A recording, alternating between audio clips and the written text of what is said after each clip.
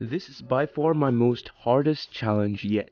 That's right, I have found a new challenge that is impossible to complete. But the question is, are you up for the challenge? I bet you can't say these words without your lips touching. Are you ready for the words? In three, two, one. Can you say the words lips without your lips touching?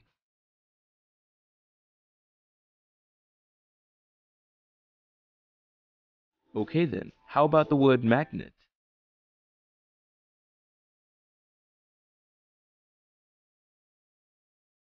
Okay, this is the last word. Can you say cops without your lips touching?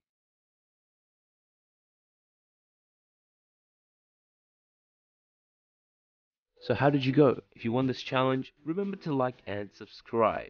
And hey, why not watch this video right here? Trust me, you will not regret it.